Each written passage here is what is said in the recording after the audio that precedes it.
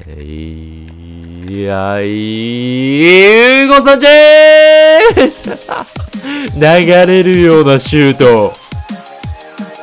はい、どうも、グレートでございます。ということで、本日は、ウーゴサンチェス選手を紹介していきます 急遽出てきた Y の SBC というところで、SBC 作成前にレンタルでちょっと使えたっていう感じなんで、ちょっと使用感で確かめていこうかなと思います。ということで、身長176センチ、役割高い普通、利き足左スキルムーブ4逆足4となってます。で、この選手は大体ですね、60万コインぐらいで作成することができまして、まあまあ高めな感じかな。ただやっぱスキルブームが上がっていたりとかするって感じかな。という感じで能力見ていきましょう。はい、で、能力ですね。本当に何でもできるタイプって感じかな。ペース、シュート、ドリブルっていうのがあるので、まあドリブル突破からのシュートを打てるっていうタイプの選手なのかなって感じますね。で、やはり特殊すべきところはですね、敏捷93、ドリブル94、まあ、決定力もちゃんとあって、本当にね、ガンガン決めてくれそうな選手かな。で、ウィークポイントとは、フィジカル部分だったりとか、あとは積極性、あと冷静さが85っていうのがね、俺ちょっと気になってるんですよね。あとロングパスって感じかな。で、選手特性なんですもパワーフリーキック、高精度シュート、華麗な身のこなし、パワーヘッダーとなってます。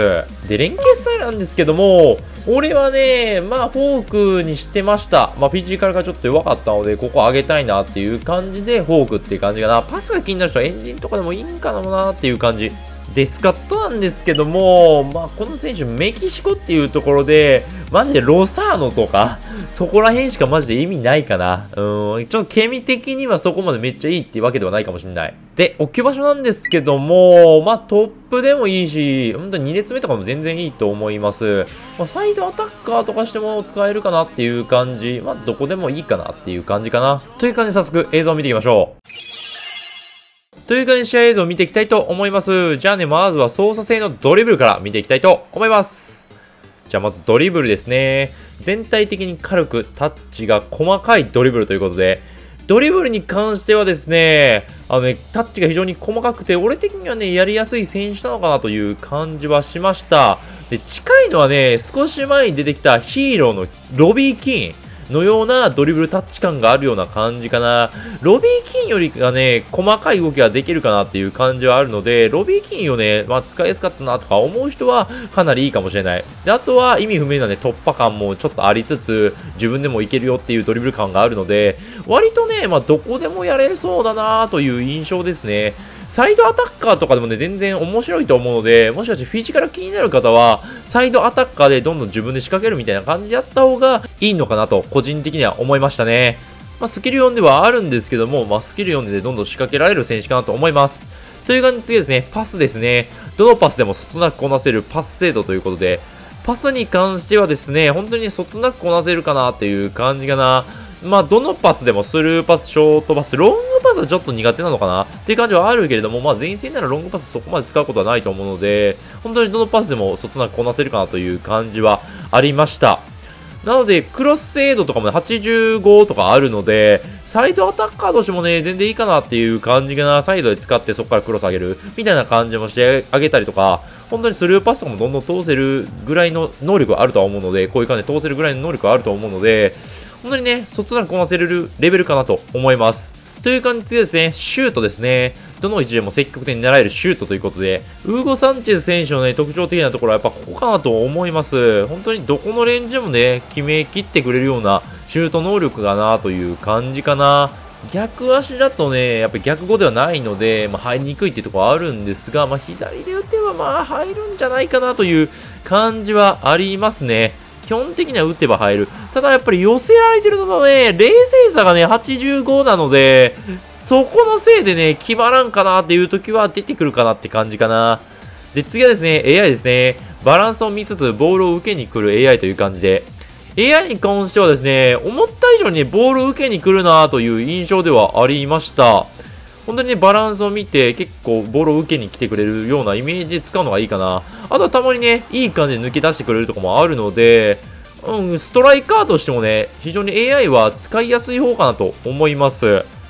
まあ、こう考えると、まあ、ストライカー起用、セカンドストライカー起用ぐらいがちょうどいいかもねっていう感じかな。もしくは、4231のキャムの部分だったりとか、そこら辺を使う方が、この選手は生きてくるかなという感じはありました。まあ、ボールをもらって自分でドリブル仕掛けていく。で、そこからパスを通したりとか。だからそういう動きを使っていくのがいいかなと思います。で、次はですね、良かったところですね。細かい高速ドリとレンジの広いシュートということで、まあ、ここかなと思います。ま、ドリブルが非常にしやすい選手だと思うので、ここをうまく使いつつ自分でシュートを打っていくっていう感じがいいかなと思います。ドリブル突破が、まあ、できる選手だと思うので、前いたらとりあえず打つみたいな感じが多分使いやすいかなとは思いますね。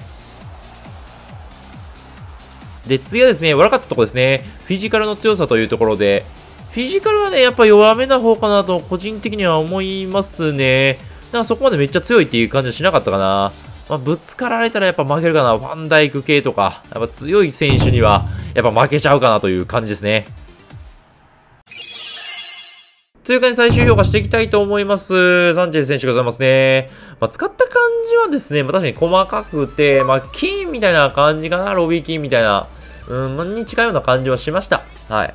という感じで、この選手は向いてる人なんですけども、決定力が高いストライカーを求めてる人ですね。まあ、この選手ですね、やっぱり決定力がめっちゃ高いと思います。シュートは打てばかなり入るし、例えば冷静さ気になるけどね。まあ、ただ、そうは言えても決定力高いかなと思います。で、次ですね、ミドルシュート打てる選手を求めてる人ですね。この選手ですね、ロングシュートもね、めちゃめちゃ数値的にも高いので、ガンガンね、ロングシュートも打てる選手かなと思います。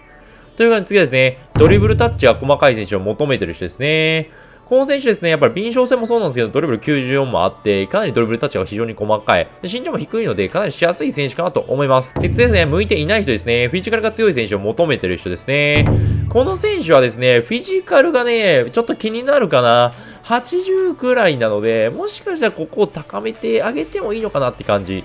で、次はですね、競り合える選手を求めてる人ですね。この選手はですね、やっぱりね、競り合いっていうところで身長が低いので、まあ、そこまで競り合いないかな。ジャンプあるけど、ちょっときついかなと感じました。で、次ですね、パスが上手い選手を求めてる人ですね。この選手ですね、やっぱパスがね、まあめっちゃ上手いわけじゃないんですよね。まあ本当にね、平均的なパス能力だと思うので、そこを求めてるんだったら違う選手の方がいいかなと思いました。で、この選手のランク付けなんですけども、まあね、なんかね、この選手めっちゃ強いかなと思ったんですけど、俺的にはね、ロビーキンより若干上ぐらいかなと思ってます。えー、プラスかな。うん、そこぐらいかなと俺は思ってますね。ロビーキンぐらいかなと俺は思うんですよね。そこまで最強って感じはしなかったです。という感じで、ウーゴ・サンチェス選手の最終評価は星7.5個ですということでですね、俺の評価7.5にしました。なんかね、60万コインかって言われたら、うーん、まあ、そこまでなくていいんじゃないかなっていう感じの印象ですね。うん、なんか35万とか、能力的には面白いなって感じはするけど、ただロビーキンとかストイチコフを持ってる人に関しては、俺はね、作らなくてもいいかなと思いました。俺は作らないかなって感じ。レンタル使ってみてね。という感じで、この動画もしよければ高評価、チャンネル登録、ぜひよろしくお願いします。じゃあまた次の動画でお会いしましょう。お疲れ様です。